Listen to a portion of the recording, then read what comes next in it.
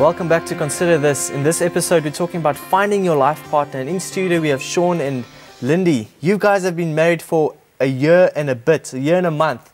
Yes. And um, you're still young people. How old are you guys?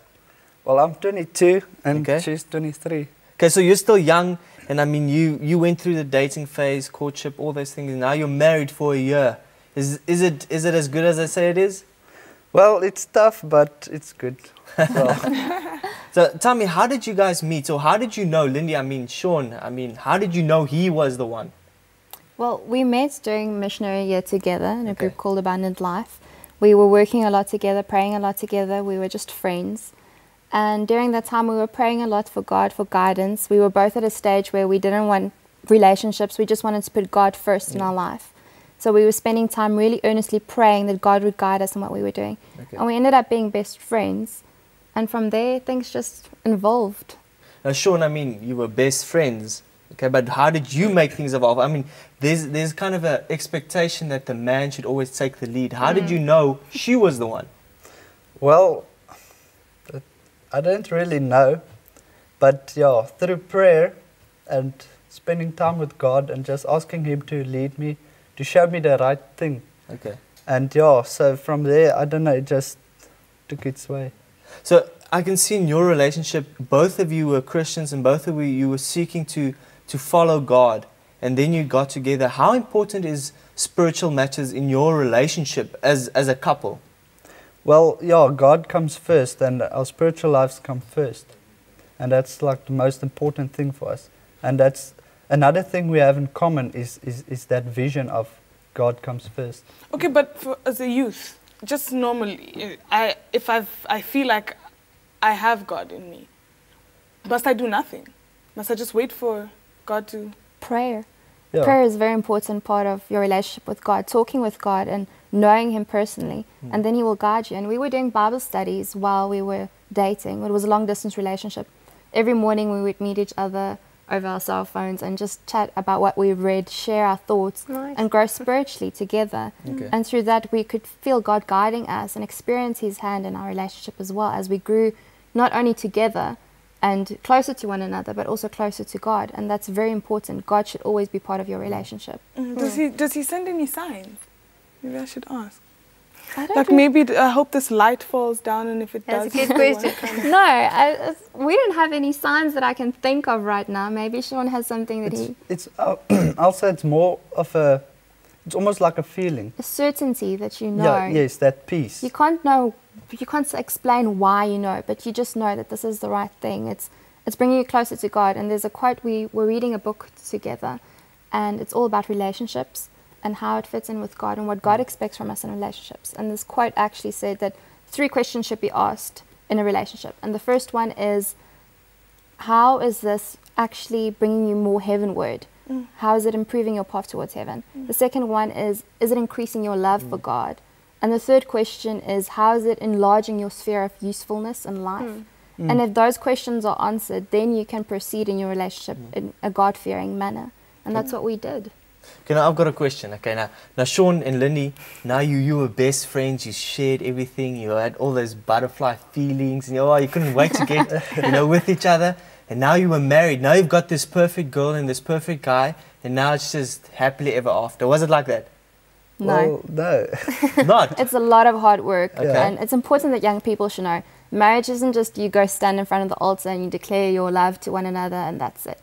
It's hard work. Even dating, still, it, it's not that hard when you're dating because you kind of you do anything for that person. Hmm. But once you're married, it's hard reality. It's you're not that willing to give in anymore in situations. You just you have to work at it Yeah. every day. You have to commit yourself to that relationship. So, I mean, as I can see, it's not just when you're married, that's when it stops. That's actually when it begins. yes. That's Now, right. what kind of um, hints would you give? How, how do you mean work at it? Does it mean that you have to do the dishes, that kind of work, or work at your relationship? What, what practical things do you guys do? Well, yeah, dishes is a, is a good helps. that helps. But firstly, God should be first. Do Bible study together, grow spiritually together, share with one another as you're growing. And then, you know, give in a little. Don't always expect your way. Sometimes you have to give some to get some. And if you always put that person first, that person's going to do the same for you. There's actually this quote in Ephesians 5:25 that says, "Husbands, love your wives as Christ loved the church and gave himself for the church." Mm. And I think as, as, as a man you must you must take that in thought that you you should give yourself rather than to expect a lot and to just give what you can for So it's Your like a service thing. You Yeah. want to serve your bride, and she wants to serve you. Yeah. Um, would you guys say that there's a difference between Christian relationships and just normal other relationships? Like in your marriage, if you weren't Christians, do you think your marriage would be the same? No.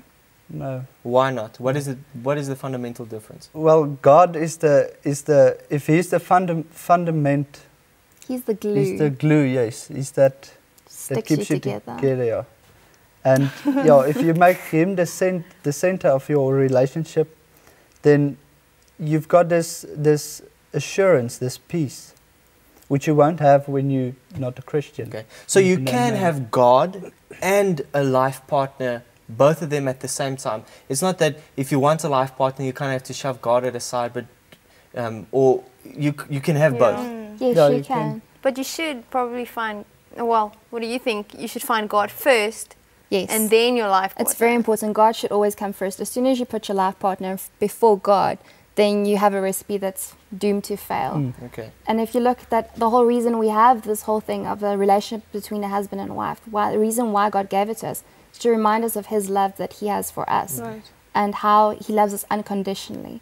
And we can see that in our own relationship when he, he does that little things for me that he's really going out of wa- his way. You mm. just kind of stop for a moment and think like, wow, how much more doesn't God love you? Yeah. And that mm. brings you closer to God, and that's the purpose of it. Hmm. And would you say that your vehicle is, or your marriage is a vehicle of, say, um, evangelism, how you can work together mm-hmm. in, in ministry or something like that? Yes, it's a it's a powerful tool if you use it correctly. Okay. Like how, how would you say, can you use it? Or in your relationship, if you give an example. Well, yeah, like you said, if you give an example, if you set an example for others, Okay. then that already is a big impact. We have a lot of young people coming to us saying they're also doing example Bible studies in their relationships Mm. because we were doing it, and now Mm. it's encouraging to see how many of your friends are doing it Mm. in their relationships That's and right. how they don't have to go through troubles that other people have to go through because they are putting God first. Okay. So just the way that you are living your life Mm. can be an example. The way that you show that God will, will Yeah. help you in your relationship. And what about character building? Are you guys strengthening each other? Do you feel like? Well, yeah, being married is a lot of character building. yes, no, we, we encourage each other and one help- person's yeah. stronger in the one area and the other's weak in the other area and that way you kind of complete one another not because it just naturally happens but you have to work at it and it's again you have to be willing to give some and to take some every now and again when you need it not to be too proud to ask for help Mm. but actually be willing to go to the person and say yo i can't do this on my own Okay. When we come back after the break, we will delve more into this topic of finding your life partner.